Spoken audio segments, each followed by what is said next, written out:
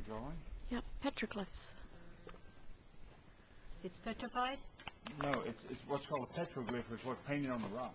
Oh, I see. That- Hi. Hi. How much farther till the water?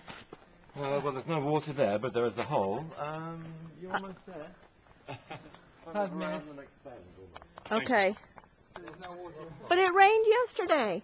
It didn't rain here. You'd see evidence of it.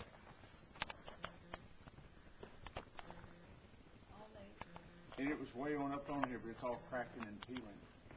And so, that, in order for them to draw up there, it must have been higher ground one time. You Uh, think this, this, this may have washed out over time under here. Or they, or these could have been holes where they could put their feet to stand and do it if they were drawing a lot. What is it, somebody market something on it?